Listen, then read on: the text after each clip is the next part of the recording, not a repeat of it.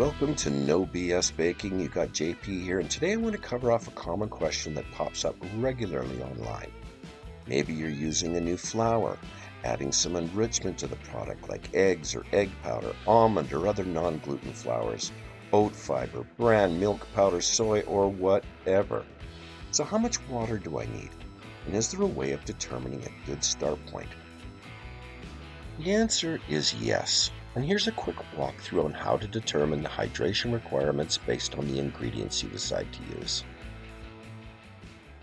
Hydration rate refers to the speed at which an ingredient absorbs water.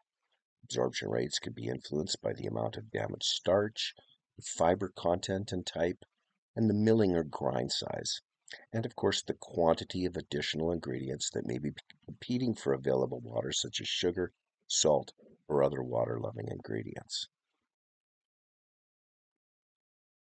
Hydration capacity, on the other hand, describes an ingredient's inherent ability to absorb and hold water. Different flours and dry ingredients have varying hydration capacities due to their composition. Main factors are generally the quantity, quality, and type of protein influences how well they can bind up water. The degree to which starch granules are damaged during milling or processing Higher the damage, usually higher the hydration capacity. Pentosans are water-absorbing complex carbohydrates, polysaccharides, found in cereal grains, especially abundant in rye and whole wheat. They significantly contribute to the ingredient's hydration capacity and can influence dough viscosity and crumb structure. Fiber content, the type, whether it is soluble or insoluble, also plays a major role and of course the water content of the ingredient itself. Ingredients that are drier to begin with have more room to absorb water. Simple, really. So if you're trying to dial in your hydration, it can get a bit confusing. Some resources say this and others say that. No matter which resource you choose to use as a reference, there is always a range which still leaves a lot of guesswork, brand, location in the world, how it was prepared or milled, all play a factor in the hydration performance and expectations. Once you get into fibers and hydrocolloids like psyllium husk, it can really get frustrating and confusing when R&Ding a new product or just trying to improve the nutritional profile of an existing one. So with flour, it's pretty straightforward. Depending the protein content of the AP in the white bread flour, and the protein and milling of the whole wheat, we can assume a hydration requirement in this range. If I'm not sure, I will pick a number in the middle as shown here. I then use this number to calculate the hydration requirement for the dough based on the type and the quantity of each flour used.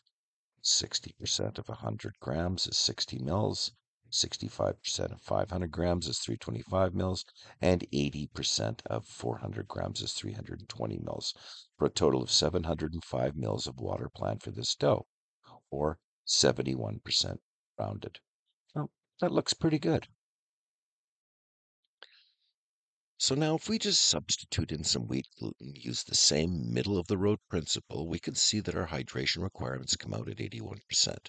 Now that looks workable from a theoretical standpoint, but what is my dough going to feel and perform like? And does this theoretical plan always work? The answer is mostly yes, sometimes no.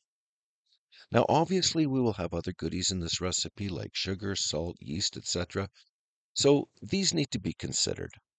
A good start point plan using lower to middle of the road factors is one method you can use to quickly evaluate the hydration percent to see if it makes sense.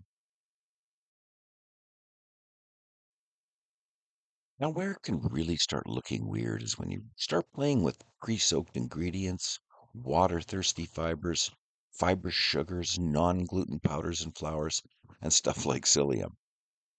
So, if the street math can become problematic, how do you deal with this? When you look up hydration capacity for a particular ingredient online, be cautious. Some hydration figures cited for isolated ingredients can often represent their maximum potential water uptake under ideal conditions.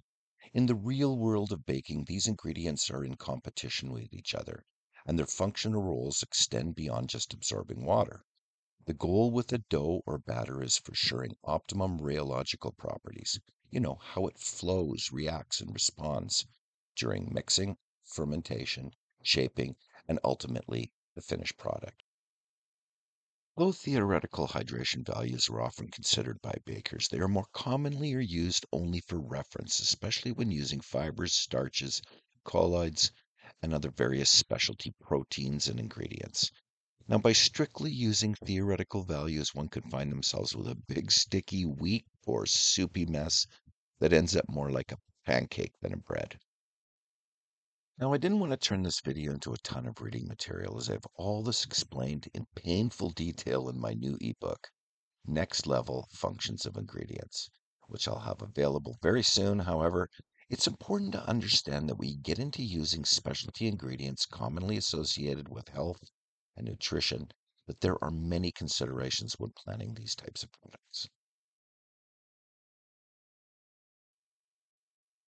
The amount of water you use is often determined by a holistic view, focusing on desired dough consistency and functional properties you want. Always base your hydration calculations on the total flour weight is 100%. This is standard in professional baking. Flour is key, for flours have different water absorption capacities primarily due to their gluten protein content, starch damage, and fiber content. Always start with a known baseline of range for your flours and build your hydration from that baseline. I'll get into this more in a minute.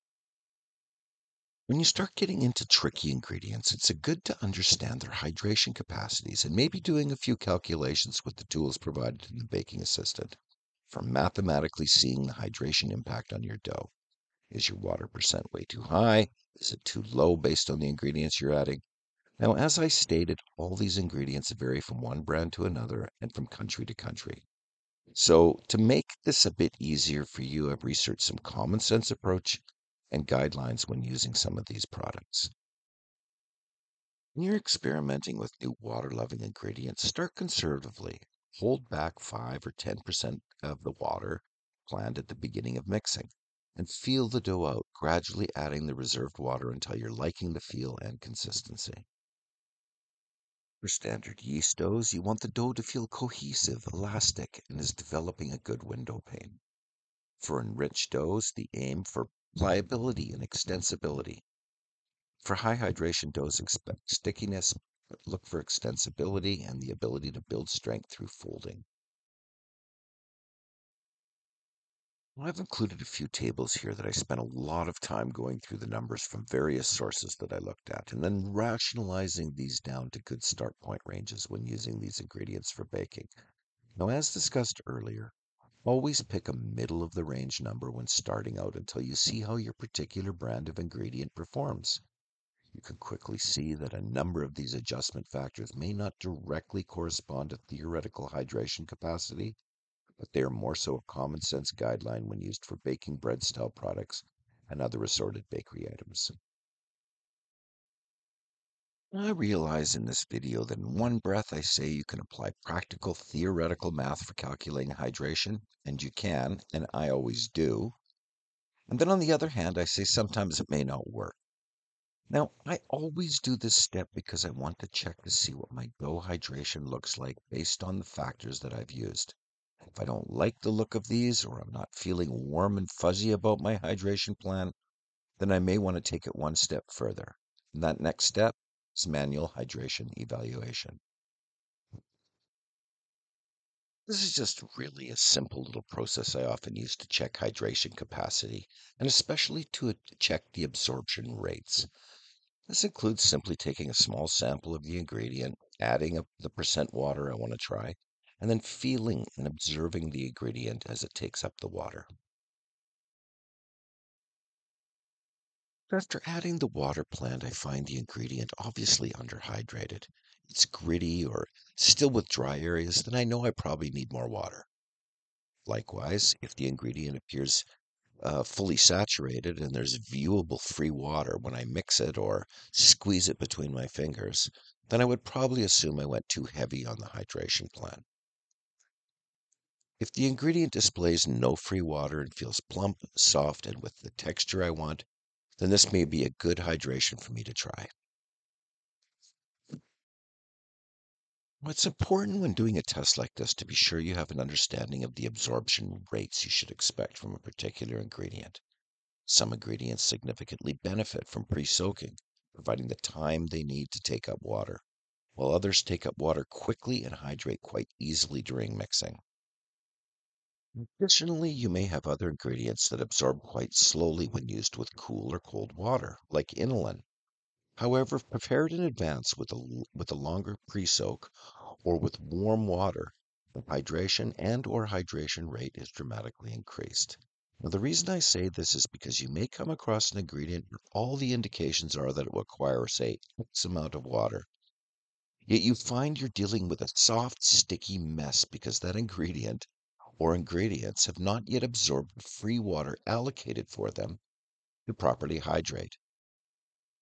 So as you can see by the example below, having an ingredient slow to take up water can leave a lot of free water in your dough that can make things messy and difficult during processing. Yet, this water is important for assuring a nice texture and shelf life at the end of your baking day. As I've stated, the rheological guidelines often do not reflect the mathematical hydration requirements, but more so focus on a balance for assuring workability and structural integrity required for your particular style of product. Rarely we be able to maximize hydration potential of all the ingredients, and in most cases, you don't really want to. So after conducting a theoretical hydration plan and landing at around 129%, formed a manual hydration evaluation where I got to get my head around the hydration rate and feel and see the ingredients response to varying amounts of water. Now, this led me to check my findings against the rheological chart, where I determined that based on the workability I want for my dough, that this would be a good start point for my first control recipe. So by inserting these numbers, you can see that the hydration plan has now been reduced by near 20%, which for my first go, I think is a better way to start, and then I could just fine tune from here. Now, if health and nutrition specific breads using some or all of the ingredients I talked about earlier is important for you and your family, then be sure to get the baking assistant. With this brand new R&D add-on, not only can you plan hydration as we just discussed, but you can scale any control recipe you made or third-party recipe you found to produce the size, quantities, and types of product to fit any bread or bun plan you have. If you want to thoroughly analyze the nutrition of a recipe or build or modify one to suit your specific needs or goals, then this new addition to the Baking Assistant full version is an absolute must have. Be sure to check it out at the link in the description.